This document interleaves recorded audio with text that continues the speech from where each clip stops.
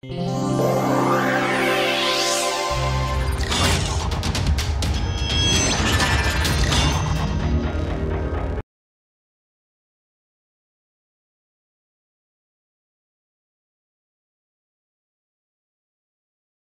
today I will discuss a topic which should have been discussed a little earlier when we did Langevin dynamics, but which is somewhat formal and mathematical and not directly connected to the rest of the topics that we had done earlier, but it is very crucial now becoming more and more important in the context of uh, uh, non-equilibrium phenomena, specific stochastic models of them and therefore I thought I should at least mention briefly what it is all about. It has to do with uh, our old friend Brownian motion and if you recall, so let me start by uh, recalling a few facts about Brownian motion.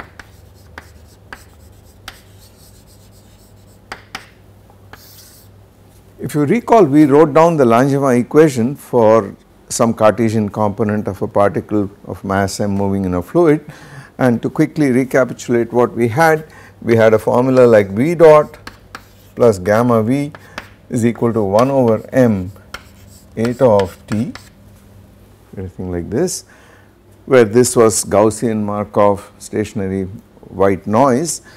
And uh, we also discovered there was a relation between the correlation the strength of this force and the friction constant gamma. If you put that in we could write this then we had a capital gamma here so, this would go to 2 gamma k Boltzmann T over m times zeta of t where this white noise had the following properties. It had uh, 0 mean and z of t z of t prime was equal to just a delta function delta of t minus t prime. Okay. I slurred over the fact that this quantity is not very well defined, it is too singular in some sense in a strict mathematical sense. So, we will come to terms with that now and do this a little better than what we did earlier. Now of course in the diffusion regime what happens is you are at long times t com compared to uh, gamma inverse and then the effect of this inertia get term gets negligible and this term dominates here. So let me go straight away to the diffusion regime and write the equation in the diffusion what we call the diffusion regime or equivalently high friction very high friction this equation gets replaced by x dot equal to square root of 2d times zeta of t because recall that d was kt over m gamma. If I divide through by gamma after neglecting this you get precisely 2d here. So all the factors are right. Now this is not a very comfortable equation to work with because it is too singular an object. So mathematicians like to write this in the following form and I will define this term. So this is written as dx equal to square root of 2d times dw t. this is called a Wiener process. The, uh, the W of t is called a Wiener process let us write that down.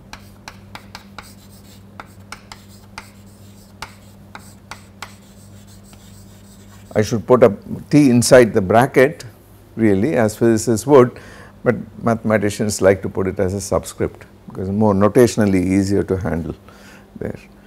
Okay. And the practice standard practice is to set 2D equal to 1.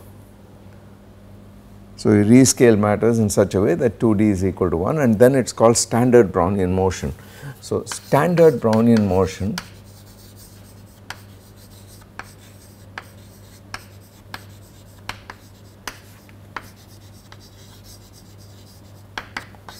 or equivalently a Wiener process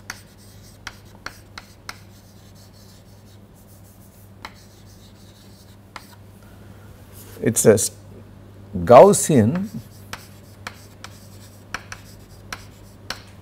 Markov process that is delta correlated. Uh, that is correlated in a specific manner which I will uh, derive in a second. Okay. This Gaussian Markov process eminently has most notable property is that it is not stationary. Hmm?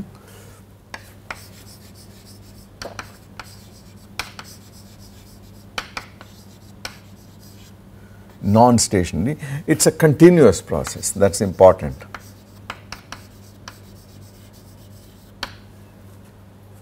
Okay, with the following property. Okay. Essentially it is this x and x we recall is the position instantaneous position of a particle diffusing on the x axis with the diffusion constant d and the probability density function of this x obeys the standard diffusion equation delta p over delta t is d times delta 2 p over delta x2 but for this process here we have set 2d equal to 1 it is clear that for this w so the pdf uh, PDF of x satisfies of w say satisfies delta over delta t. Let me just call it rho equal to 1 half delta to rho over delta x2 okay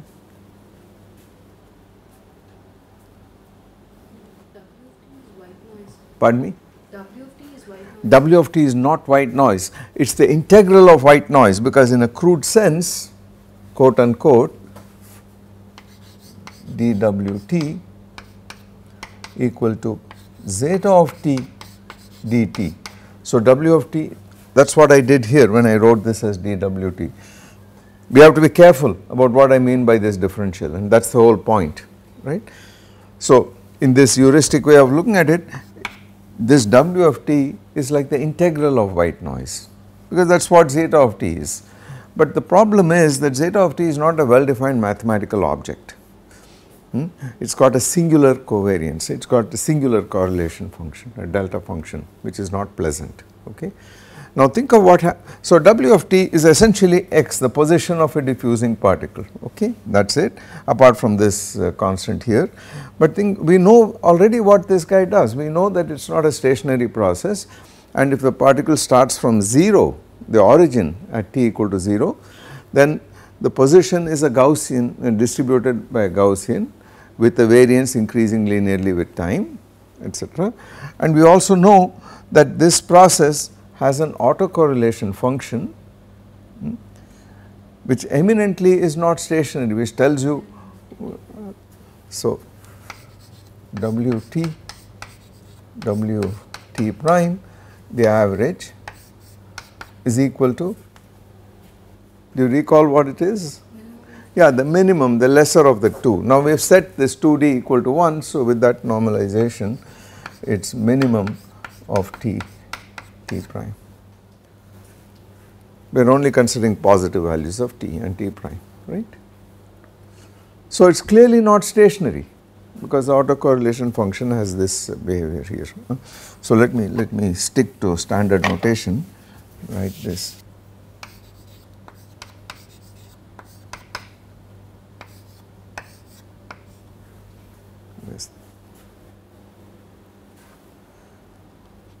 And this uh, chap here has got the standard Gaussian solution if you recall. This is uh, implies fundamental solution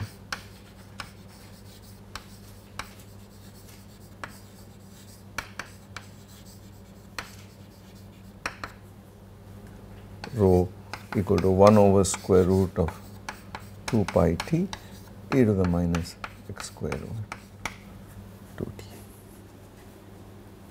I have set again at 2d equal to 1. Okay.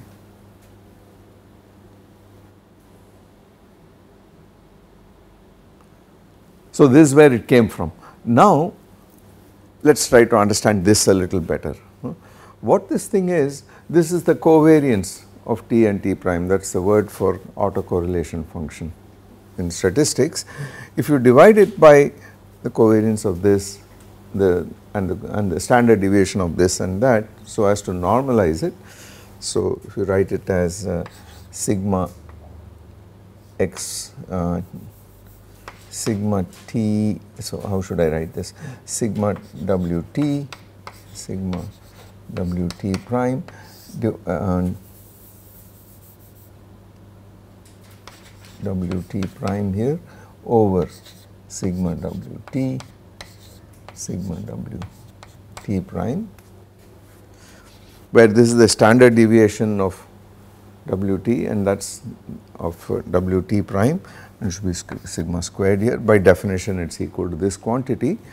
Then this is of course equal to min t t prime over and we know what this is. The square of this is 2 dt and 2d has been set equal to 1 right. So this is equal to t square root of uh, yeah square root of t t prime. This is 2 d, t and this is t prime and we are taking the standard deviation so root of t t prime and it is easy to see that this is equal to min t t prime over max t t prime the whole thing square root. That is a convenient way of writing, easy way of remembering this.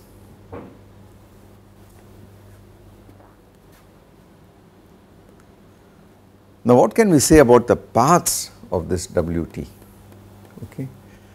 It is clear formally that the Brownian particle has got Brownian motion has infinite velocity because x squared scales like t not x and therefore delta x over delta t is formally infinite. You need put another delta x on top in order to bring it to a finite value right? Okay. So what do these parts look like? That is worth looking at. And a number of results are known in one dimension. Brownian path or sample paths of Brownian motion. We are talking about Brownian motion starting at uh, the origin. So, here is x and uh, sorry here is t and wt the Wiener process starting here and this process takes off and does this kind of crazy thing it goes up and down etc. Hmm. And the following can be established rigorously from the properties of the Wiener process.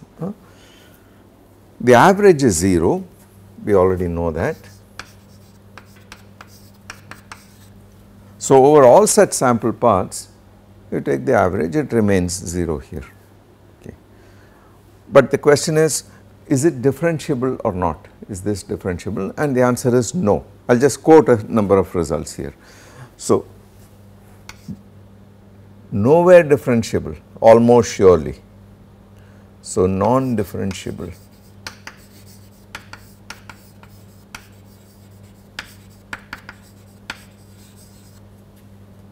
except on sets of measure 0, hmm? non-differentiable almost surely.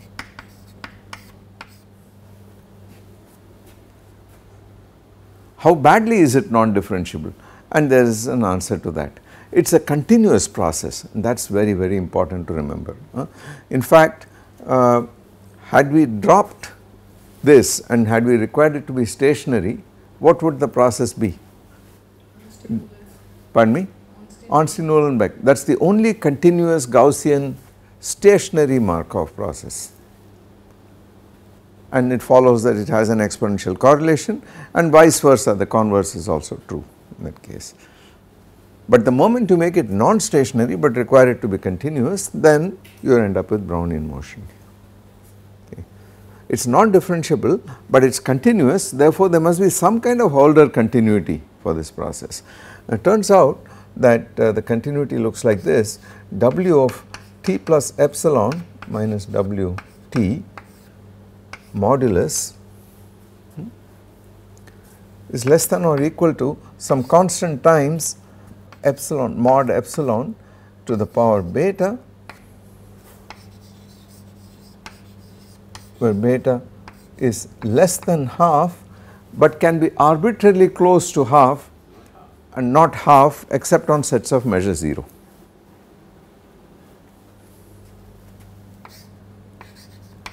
arbitrarily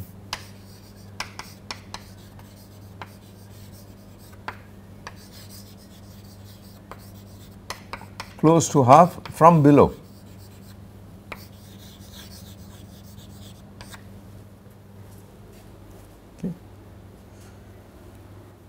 So that sort of tells you how jagged these paths are. It is a measure of how jagged it is because you can see that this will imply the function is not differentiable because for differentiability, yeah if you divide by epsilon, so it is clear that w t plus epsilon uh, minus wt divided by mod epsilon tends as epsilon tends to 0, it tends to infinity because of this property going like half. So, you divide here you are going to get a half little more than half in the denominator and it is going to go to infinity as epsilon goes to 0. So, it is therefore not differentiable. But this weirdness that it is Hölder continuous with an exponent which is arbitrarily close to half from below means that this increments in this process are acting somewhat like square root of time. This epsilon is like the increment in time right. So, it is acting like the square root of dt the infinitesimal dt one can formalize that uh, and then you have to be a little careful but by a clever amendment of the rules of calculus one can actually handle this process quite rigorously. Hmm. Here is what happens or to continue on the sample uh, another property of the sample path you can ask uh, when does it cross 0 in a given time interval how long does it stay above the axis and how long below on the average and so on. In fact, you can ask where is this particle going to be most of the time and it turns out there is a law of the iterated logarithm. This is Khinchin's law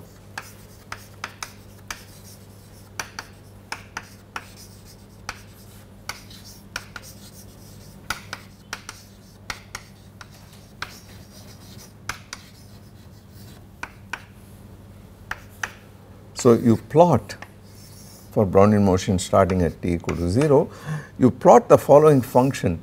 This function is square root of 2 t log log 1 over t for small t sufficiently small t plot this.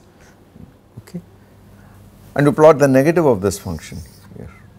This is minus the square root of this stuff and if this is 1 plus epsilon times that function and that is 1 minus epsilon times that function. So, there is a 1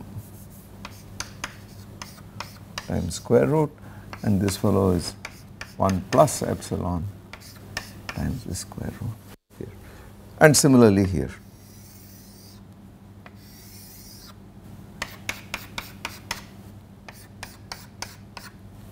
Okay.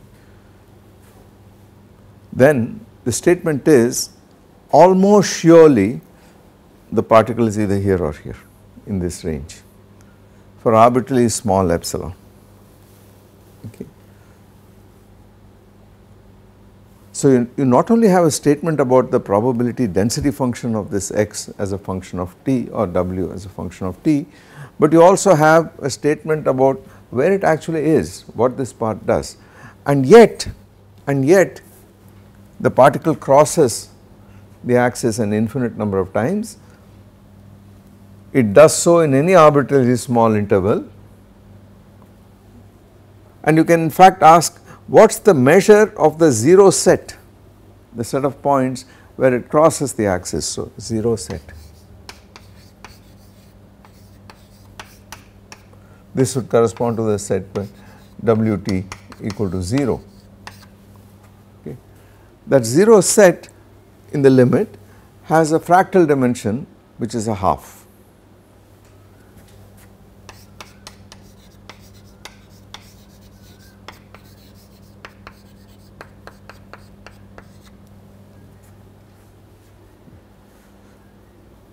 So, while it can go arbitrarily far away the 0 set is such that by the way this thing the fluctuations obviously they are going to go way up there way down here and that is why the variance itself will increase with t. Because the fluctuations are such that it is getting it is diffusing. Uh, although the mean remains 0 always. You can ask further interesting questions. You can ask uh, what is the given given some t here, what is the fraction of time for some, some capital T starting at 0, what is the fraction of time that it spends above the real axis, ab above the, on the positive side hmm? and what is the fraction it spends on the negative side. That is a random variable. Equal, right? It's a, yes, but it is a random variable. Huh? Oh, yeah. One can ask what is the probability distribution of that random variable. So, let us suppose, no I am being incoherent, you could ask um, what if t is very large? You have a law of uh, iterated logarithm for t large as well, all you have to do is to replace that log log 1 over t by t. Okay. But that, the crucial point is not that, the crucial point is this process is reinventing itself at every instant of time. It is what is called a martingale, I am not going to talk much about that, but we will see some consequences of what it does. It means that if you are here at this point, say you are here at that some instant of time, then the Brownian motion is as if it starts from there at this instant of time and it again behaves in precisely the same fashion as it behaved earlier here. So at every point there is a law of the iterated logarithm at every time. The process has, the memory is very short, it is a Markov process. Now one can ask uh, the probability distribution function. So let t plus be the um, be the amount of time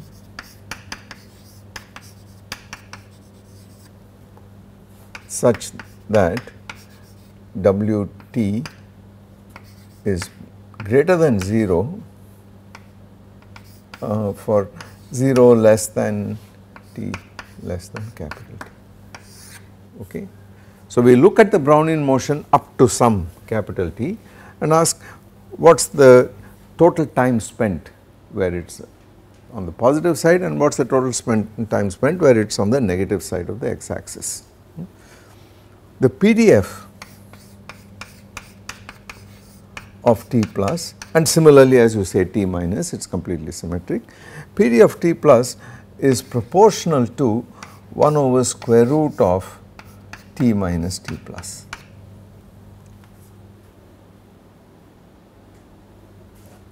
Okay. Which implies that the cumulative distribution function CDF of t plus it looks very much like the oscillator. Yeah, the time instead of if you have a regular oscillator and you ask dt t is distributed uniformly over a period, you ask what is the distribution of the angle, it is precisely this 1 over square root here, many such distributions.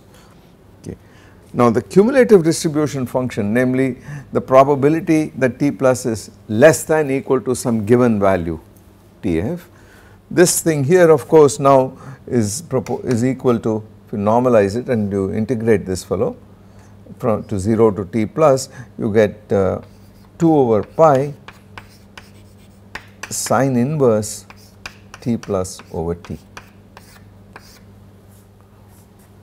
It should of course be 0 when t plus is 0 and it should be plus 1 when t is e t plus equal to capital E. Total probability must be equal to 1 right. This is called the Levy-Arcsine law.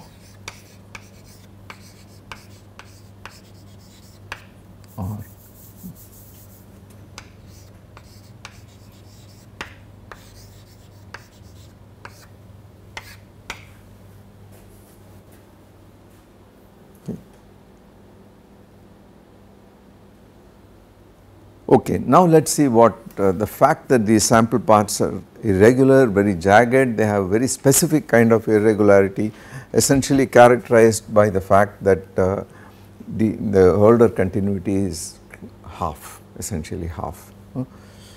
That says that the following property can be rigorously proved and this is part of what is called Ito calculus.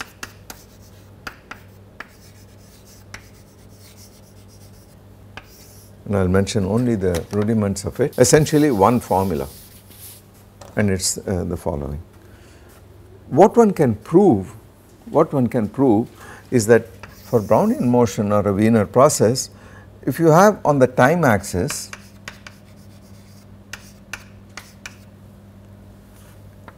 any 4 points. So, let us start with T1, some point T2 and then some maybe T3 and some T4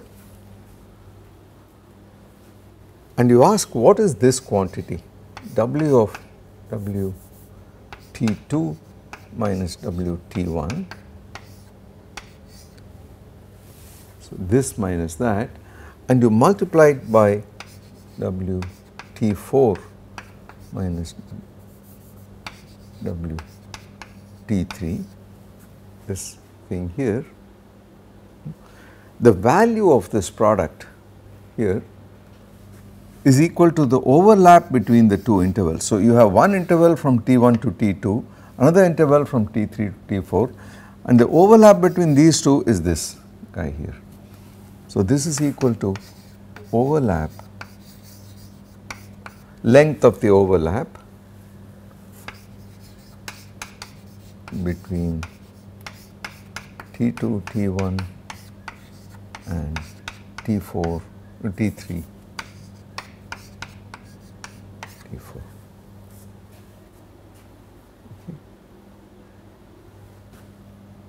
it has an immediate consequence. This by the way, this statement can be proved by looking at the correlation, the autocorrelation okay. and then it is a simple proof here. Now this has immediate consequences. The first consequence is that dWt, dWt, dWt equal to dt. Okay. Because imagine a completely overlapped infinitesimal in interval. Okay. The length of it is dt and that is the square of dwt. So, this is the one that formalizes the fact that this dw the increment in the Wiener process is like the square root of the increment in time. Okay. This immediately has the following consequence hmm? there are several ways of doing this. And what we are interested in is asking for the behavior of the properties of functionals of Brownian motion. X is a random variable in the normal diffusion problem. Now you ask what does f of x look like where f of x is some function etc. So we are going to consider what happens if you had a functional just write it as fwt. You could extend it to the case where it has a explicit t dependence as well, we will do that in a second. What happens to this functional and what its what does its differential look like? Okay. What you have to do is to do a Taylor series about any particular point and keep track of the fact that this thing here is like dt. Okay. So, we will assume that uh, assume that f of whatever argument f of x is a continuous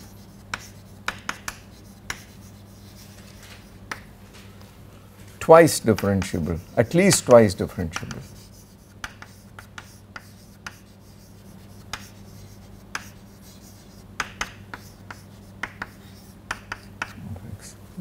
We will consider functions which are at least twice differentiable functions of the argument. Hmm? Then we could ask what is df wt. This is equal to f prime wt dwt that is the first term right. But that is not enough because it is a function of a function there could also be a, an explicit time dependence here. So, let me in fact write that time dependence. Let us look at the more general case where you have uh, this then is Uh, well let me use the following notation f prime and I will explain this notation in a second. So, df of wt t equal to this plus a portion coming from the fact that the second term in dWt will still be of order dt and that term turns out to be 1 half f double prime wt t dWt dWt okay, plus delta f of Wt t over delta t dt. But we know that this is dt, so it gets added to this term. Okay. Now, this is the fundamental rule of Ito calculus.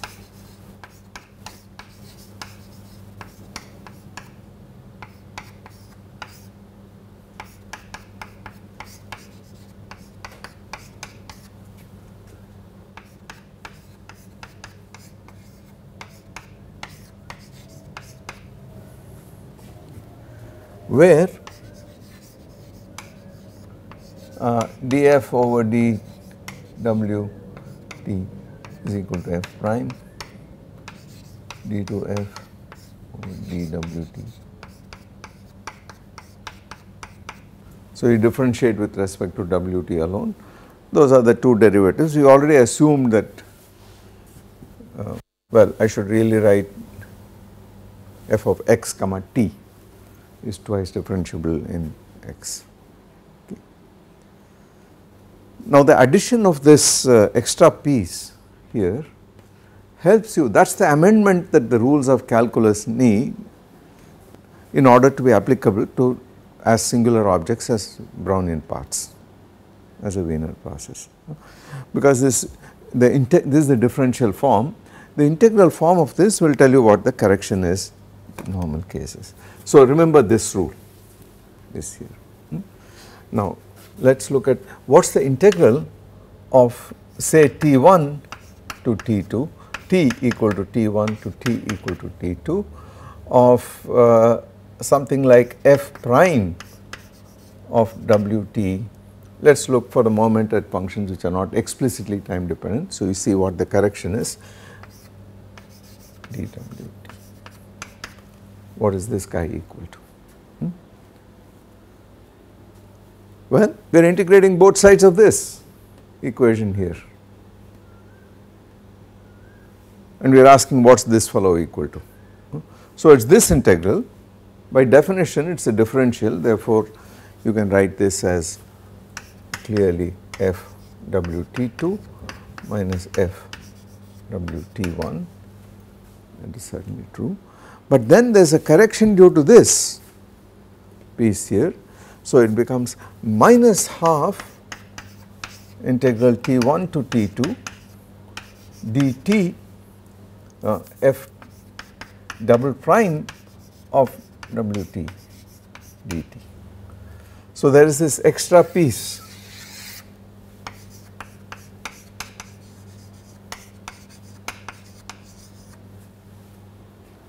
okay, which you require.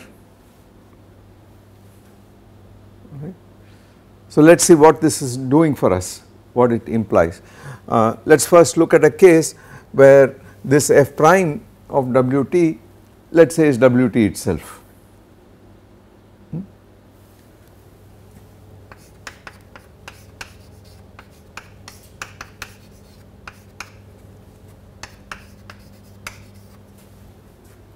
Then it tells you that integral T1 to T2 in time Wt dWt I should write T equal to T1 T equal to this is equal to by this applying this theorem applying this blindly it is the integral of this fellow which is Wt squared over 2 so it is half Wt2 squared minus half half comes out minus Wt1 squared hmm, minus half. Well f double prime is 1 in this case so just T2 minus T1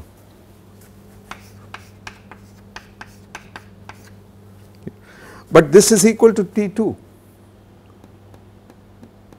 right we already had that overlap rule and so the square of Wt squared is T itself. So this is equal to half T2 minus T1 minus half minus T1 is equal to 0 is identically equal to 0.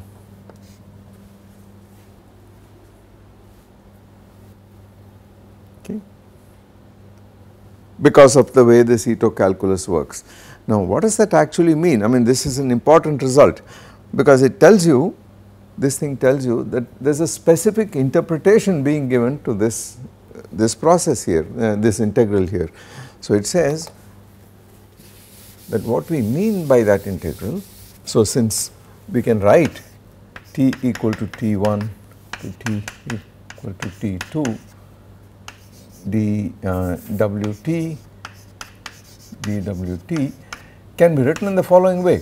So I start with time t uh, time 0 time t and I break this up into n parts. So there is time t n and time t n plus 1 is equal to t and this is 0 so this is t1 this is t2 etc break it up then this is equal to limit n tends to infinity summation from i equal to 1 to n times w ti times dw but this dw is w t i plus 1 minus w t sub i here. It is the forward difference. Oh sorry, I am sorry. Yeah, I, I chose it to be 0. Yeah, I started with 0. Yeah. yeah. This is a general result. This follows a general result here, but you can start at any point in this process. I start from 0 and that is the meaning of this. So, it is this quantity that has been written there and this follows is, is this difference here in the limit hmm, as the number of uh, intervals, uh, number of uh, subdivisions becomes infinity. Hmm. Now, this is the forward increment and there is a current value of the variable. We know that the overlap between these two is 0 because this goes up to Ti and this goes beyond that. There is no overlap between these two integrals and these two factors. Therefore, by our basic rule for Brownian paths, this is they are independent, this is 0. So, that explains why you get 0 here. Okay. Now, you could have interpreted it differently when you do normal uh, integration from a summation you convert it to integration. There is no reason, so you normally write f of x dx etc. Now you write it as a sum this dx is say x plus delta x minus x? But this quantity here f of x is x at which point it could be at x plus delta x over 2 it could be any combination of f at x and f of x plus delta x. This is Ito's choice. This is a specific choice of uh, the way this integral is interpreted, the interpretation. So this, this the fact that uh, these two factors no overlap and this guy here is the forward increment it is this that is gives you the Ito calculus and all the other properties that I wrote down. So clearly it says that there are other choices possible. You could choose this to be Ti plus 1 for example. Yeah. Or you could choose it to be Ti plus Ti plus 1 divided by 2. So you have any number of choices here and each time you get a stochastic calculus. Okay. Now if you choose the Ito interpretation and you have this feature then and only then does it turn out that the interpretation we have for the general Langevin equation or general Ito equation now. So, our general Ito equation stochastic equation, I should not call it Langevin anymore. This is of the form some process dx is equal to some f of x dt plus g of x. Remember the Langevin equation that we wrote down with a drift term and a diffusion term. There was a g of x times we called it white noise and put this as x dot but the correct way of writing it is with the dt here and this is dw d in this fashion. Hmm? This is an Ito equation this is to be understood in the sense of Ito. So the x here and if it was time dependent the t is such that this is the x at instant t and this is the forward increment in the Wiener process. You need that interpretation otherwise it is ambiguous multiplicative stochastic process is definitely ambiguous. So the question is you have a noise in physical terms you have a noise that is dependent on the state variable itself. The question is state variable at what time? Okay. It is the state variable when you write the increment in x it is the state variable at time t where this dwt is the forward increment between t plus delta t and t okay. Then this implies and is implied by the Fokker-Planck equation that we wrote down for this process. Hmm? It implies that the probability density of this thing is delta p over delta t is equal to this fellow here is equal to minus delta over delta x f of x p plus half g squared of x d2p over dx2 okay. So when you have a non-trivial uh, noise, a multiplicative noise, you have to interpret it in the Ito sense and then this is true. The Stratonovich interpretation where this would be Ti plus 1 would give you a different Fokker-Planck equation for the same stochastic differential equation interpreted in that sense. The point is that uh, the physics has to be the same in both cases. So what would ha happen there is that you would have what is called a spurious drift term. So in going from the you go from the engineering equation to two different stochastic differential equations so as to get the same master equation once again for uh, the random variable because that is its moments are physically measurable. So you start with an equation between averages the so called engineering equation. You add noise to it. If it happens to be stochastic uh, multiplicative noise, you have to then specify is the equation this uh, equation in the Ito sense or in the Stratonovich sense or anything in between? There are other interpretations. And then each time the prescription to go from the stochastic differential equation to the master equation changes in such a way that the final master equation is exactly the same for a given physical process. We have used all the way while I have used the Ito uh, interpretation.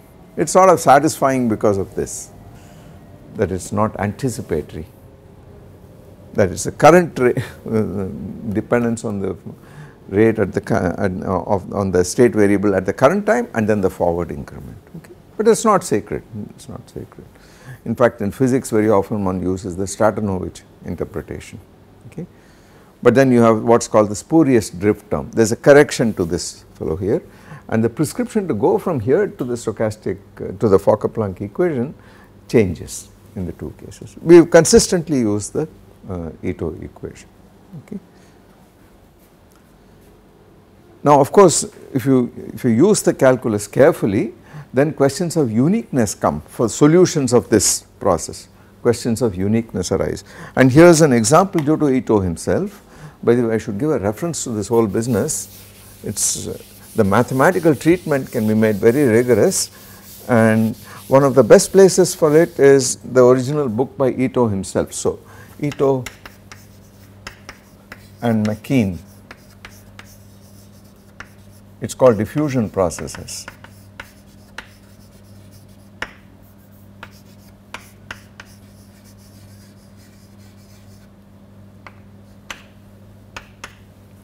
Recall that we called an equation like this a diffusion process, we called X a diffusion process.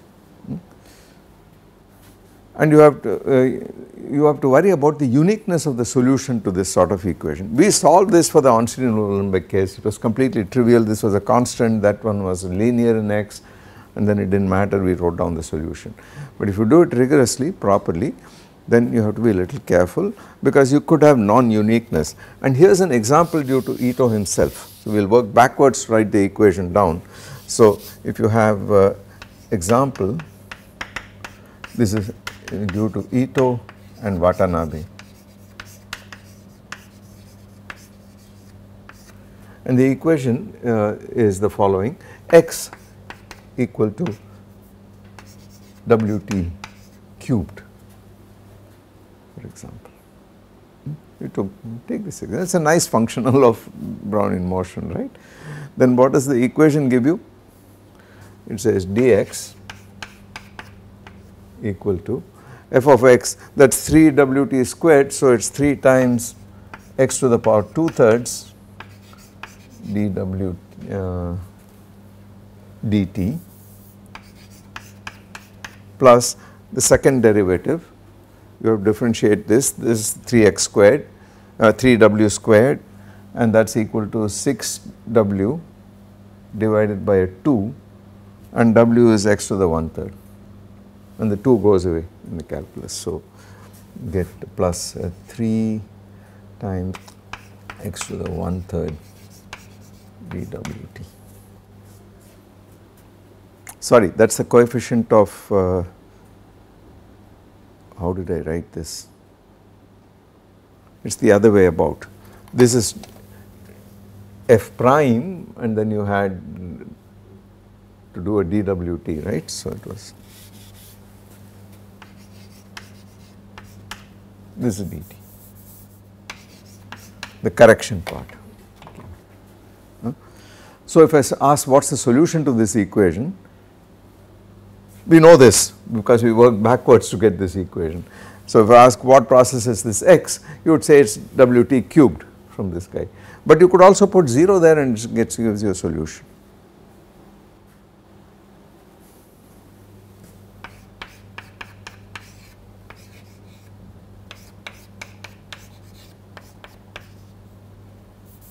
So you have this or that. Therefore, the uniqueness of solutions is not guaranteed. Hmm? Fortunately, this is a kind of uh, academic example. Fortunately, it turns out that if you put in sufficient uh, Holder conditions on the continuity of this process, then you get unique solutions. Okay. For instance, if you can show that uh, uh mod x at some time t minus x at time t prime is less than sorry the function. So, if this fellow is some function x of wt, if you can show that uh, x of in some alpha minus x of some beta modulus is less than uh, some constant times modulus of alpha minus beta for all alpha and beta, all argument, then that suffices to show that uh, the solution is unique here. This is not, this does not satisfy that. These two guys are not smooth enough at the origin, they are too singular at the origin. But if you have something milder like this, then the solution is unique and that is what happens in most physical examples.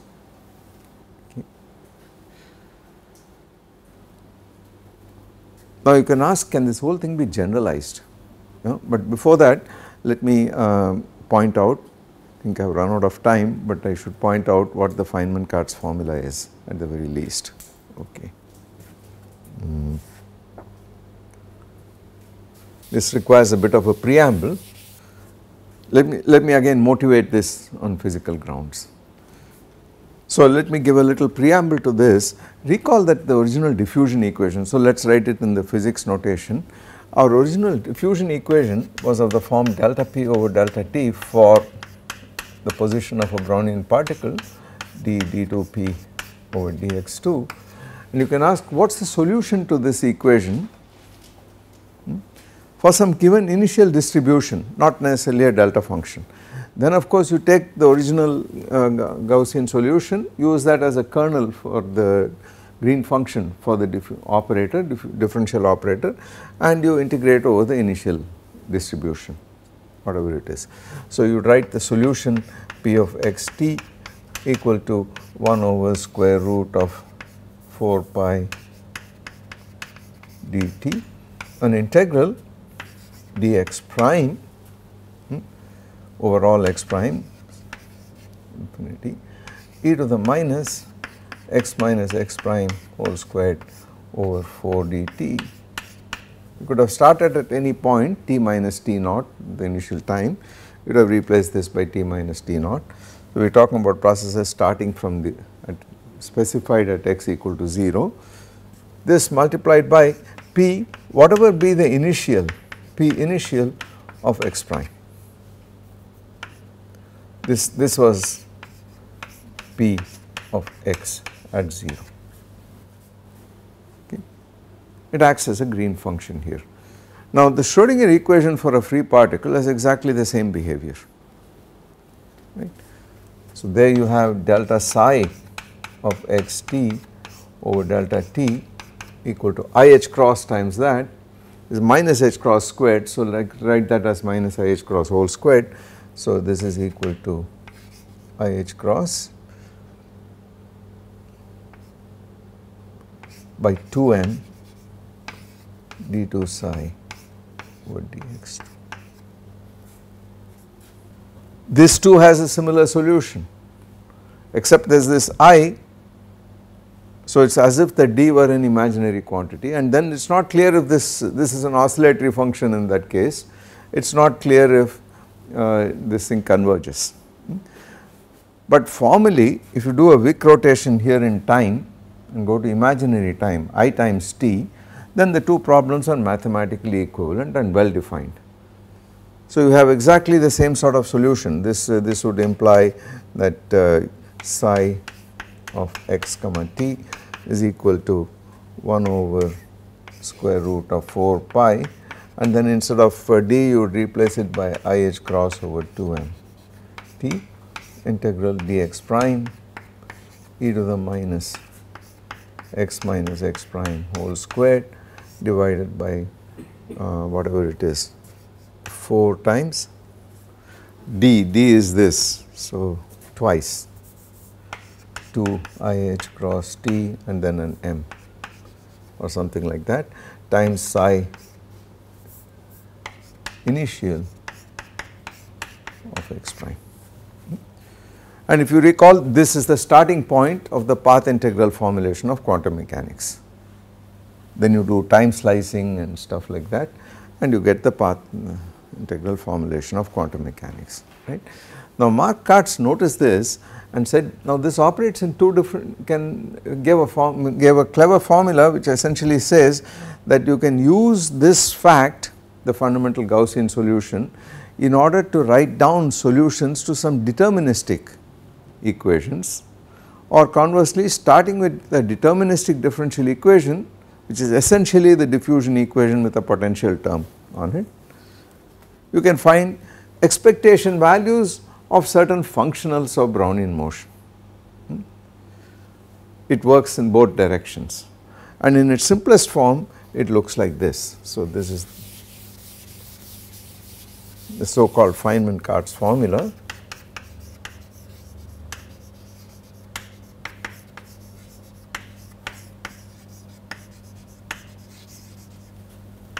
And let me write it in the simplest uh, form. It has got all kinds of generalizations, higher dimensions etc.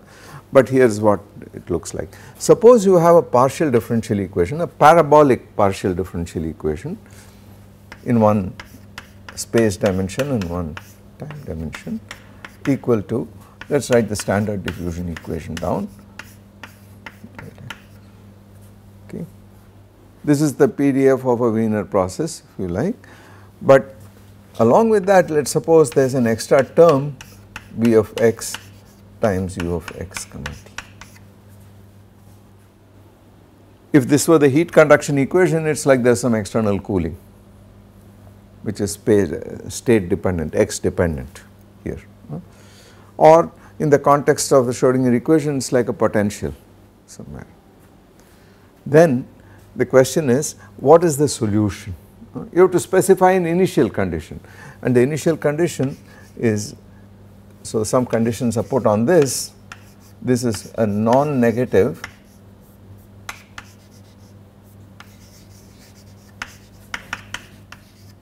continuous function.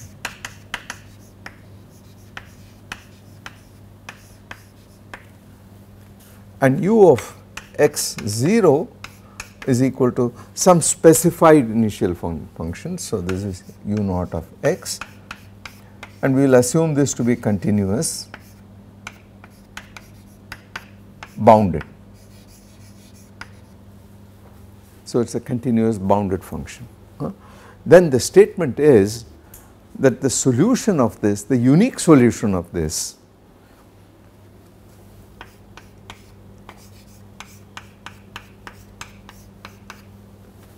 has the following form. It is equal to the average value of e to the power minus integral 0 to t v of x, uh, v of Wt dt hmm, times u naught of Wt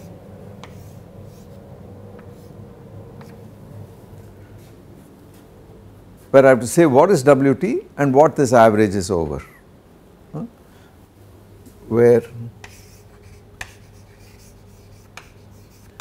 Wt equal to standard Wiener process or Brownian motion, standard Brownian motion started at x at t equal to 0.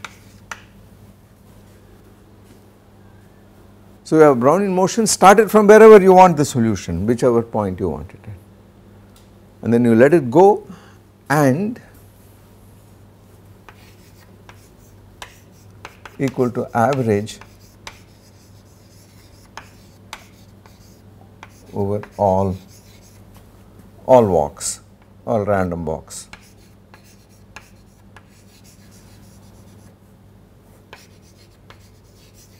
All sample paths.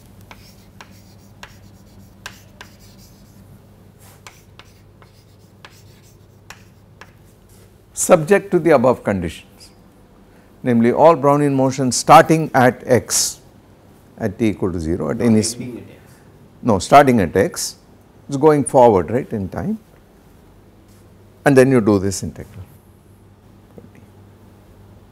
okay. So this works both ways. If you want this where you have an arbitrary functional out here and here some given functional then you have this back again. Hmm? Well the simplest case would be v equal to 0 then you see where this is coming from. You put v equal to 0 this goes away you are going to take the initial point and you are going to put the Gaussian kernel and you are going to integrate that would be one way of computing the average and that is exactly the solution we wrote down to the diffusion equation. But this generalizes it to the case of arbitrary functions here subject to very mild conditions. Okay. And this is just the path, I mean if you Wick rotate back. If you Wick rotate back it is just the, the path integral, Feynman path integral. For a potential. For, for the potential V of x, exactly. But what is interesting is this is capable of enormous generalization. First of all to higher dimensional Brownian motion for which we know how to write uh, uh, you have a general equation of the form uh, dx equal to f of x dt plus g of x dwt where this is an n dimensional vector so is this this is a new dimensional noise and this is an n times d matrix with suitable conditions on the g's. We know how to write the Fokker-Planck equation down. Now for the process X, a general diffusion process X, you have an analog of this formula. It does not have to be standard Brownian motion alone. That would correspond to the case where f is 0 and g is 1. But you can instead of Wt you can use x and you can write a generalized formula once again for a more complicated equation here which involves the first derivative of this u with respect to x with that drift term and the second derivative with that diffusion term here. Okay. So, instead of this operator you replace it with g squared times this guy plus f times f of uh, u uh, f of x times uh, the first derivative du over delta x and it is still true. So, higher dimensions more complicated parabolic equations it still works this formula and people have been at it for a very long time. I should finally mention that uh, the case where this fellow is linear in x and that too is linear in x is the famous Black-Scholes model that is used in financial mathematics and it corresponds to exponential Brownian motion. So, the random variable is e to the wt if you like times some constants okay, and then an explicit function of t to take care of Ito calculus once again. Okay. So, that is uh, what I wanted to say here in this context. We have uh, this entire course we have sort of uh, started with very simple Langevin dynamics and come back to it in a very general form here. On the way we went through all kinds of uh, applications of Langevin dynamics. That is a paradigm, that is a model and I try to point out very briefly that the same model is generalized to the case of fields, order parameter fields and then it has connections to both equilibrium and non-equilibrium phase transitions, how with the help of the Landau functional you got handle on non-equal critical exponents including dynamic critical exponents. We did not take an excursion into critical phenomena per se, that is a separate topic by itself. But we did study some linear response theory on the way both classical and quantum. And some topics uh, we have run out of time. And most notably chemical kinetics and the thermodynamics of very small systems all the fluctuation theorems. These are two notable exceptions perhaps at some future date. Okay, stop here.